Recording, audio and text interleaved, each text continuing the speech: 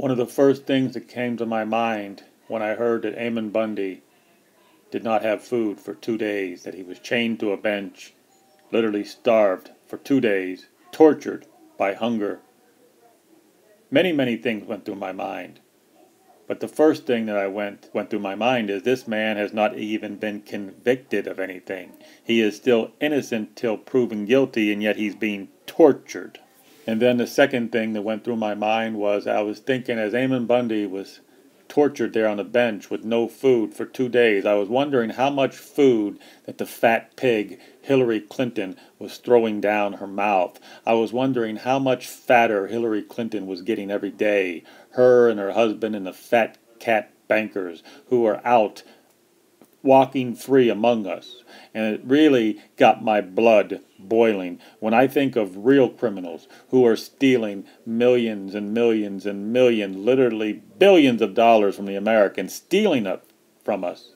And they're wreaking havoc all over the world with their wars and their crimes against humanity. And I wonder, and I wondered how in the hell we are letting this happen, where the real criminals are walking around filling their face with as much food as possible, getting fat like fat cat bankers, and then we have Christian.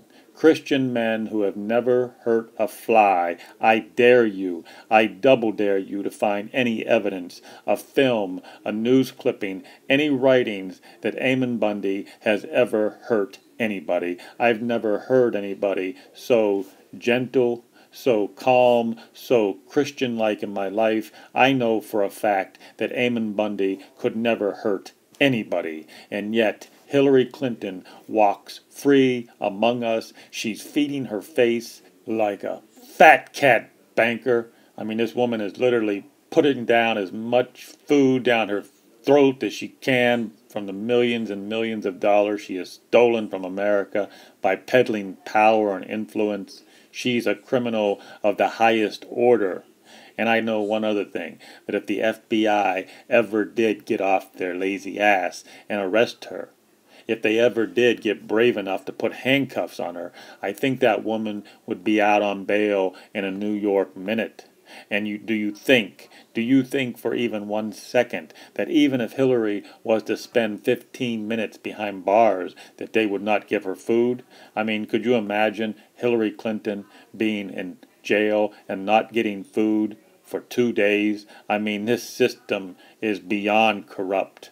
We are ruled by people who think they are above us. And these criminals also know, they know for a fact that their power and their money will let them get away with anything. Literally anything. They can kill, steal, and nothing will be done to them. Even the highest law enforcement people of the land cannot touch them, and yet the poor people are thrown behind bars without even being convicted, without even hurting anybody. The poor people are thrown in jail and starved, tortured, literally no food for two days. And you think I'm exaggerating? No, I'm not exaggerating because you know what? Quite frankly, I've seen this coming for a long time. You see, I've been paying attention. As the rich people get richer and richer and they get more drunk on their power and corruption, I've noticed that they're not really paying attention to us poor people, how the poor people are suffering, how we don't have any jobs. And then when we don't even have any jobs and we speak out and we say, hey, this system is corrupt, we need to change it, what do they do? They throw us in jail and they torture us and they don't let us eat for two days. Try that for a moment. If you don't care about humanity, just try going two days without any food. Try to put yourself in the shoes of Ammon Bundy, who has hurt no one, by the way, who has not been convicted, and yet we are letting the authorities torture him with no food for two days. And this is the just one of the things we've heard. I bet you behind the scenes there are many, many other different ways of torture, like cold cold temperatures and hot temperatures and diesel fumes and I can and the list goes on and on how they are torturing the poor people. We are now in a time where they are torturing the Christians again. The Christians are being persecuted and tortured and are we going to stand around and wait for God to send some biblical scale disaster to take out these criminal corrupt tyrannical government? Is that what we're waiting for? Are we really waiting for God to send this biblical disaster? Because it just might happen. I don't rule that out. But I have another theory. I have another solution we could also try to implement. Let's take the criminal Hillary Clinton. Now, we are all aware of all her crimes her criminal activities, how much money she's stolen from not only Americans but the world, her crimes against humanity. These are all well documented. But there's something that maybe we're overlooking. Why is she walking free among us? Why has the authorities not arrested her and put her in handcuffs? I'll tell you what I think. It's because she's part of a group of 40 million people. Let me say that again. Hillary Clinton is part of a group of criminals and bloodsuckers. There are 40 million government workers out there. And do you think that these government workers who think that Hillary Clinton represents them, do you think that these government workers, these authorities are going to arrest her and put her in jail, put her in handcuffs, torture her without food for two days. Do you think that the 40 million government workers are going to do that? I don't think so.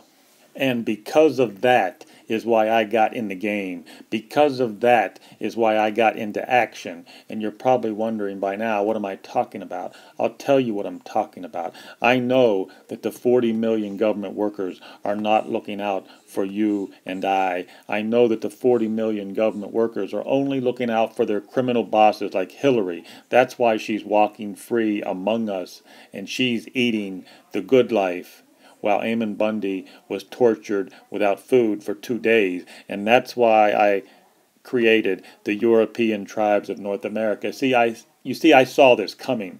I saw that the rich and the richer were just getting more powerful with their money, and they were getting drunk on their power and influence. And I saw the poor people struggling, and the poor people were being persecuted and thrown into prison like cattle. So that's why I created the European tribes of North America because I know there's only one answer.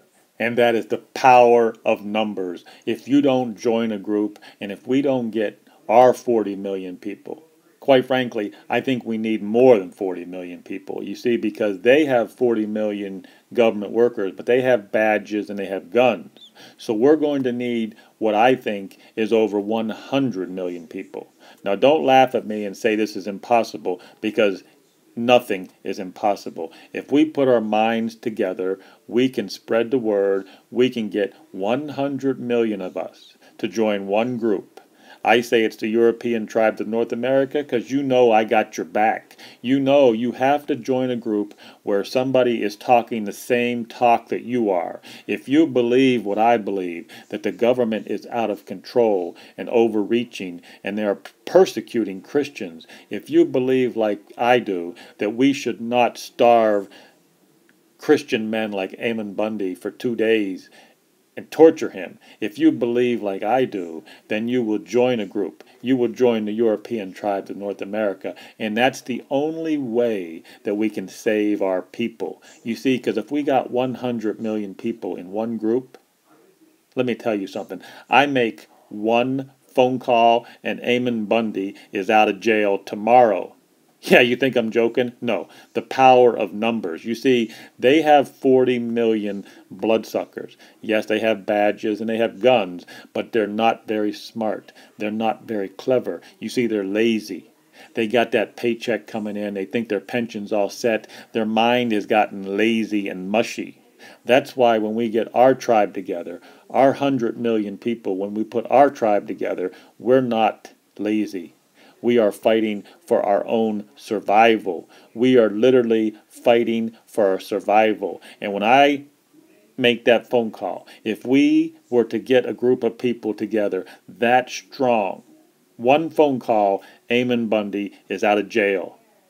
Trust me, That's how it works. Now, you might say, well, maybe you don't care about Ammon Bundy. Okay, fine. You don't care about Ammon Bundy today, but how about if the next person they come and get is you, or the next person that the authorities lock up and starve for two days is your son or your daughter? And you know what you do when they lock up your son or daughter? Call Hillary and see if she'll help you. Let me tell you what Hillary's done. Hillary's already hoarded away her millions of dollars that she has stolen from America, and she's already got her plan in place. You see, Hillary and her criminal friends have already put the FEMA camps in place. They're already preparing for this big collapse of the petrodollar. You see, they know it's coming and they're already ready. Like I said, they got the FEMA camps for you and I, and they're heading to Europe for their ivory towers. So it's basically the 40 million government workers with their guns and badges against you and I, while Hillary and her criminal friends run to Europe in their ivory towers. Well, you can do a couple things. You can try to do every man for himself which I don't think is going to work out too well because when you only have one person up against all those guys with their guns and badges, it's not going to end well for you. Trust me. The only thing we have, our only chance after the collapse of the petrodollar, is to have one powerful group, the European tribes of North America. And when we make the phone call, something will happen then.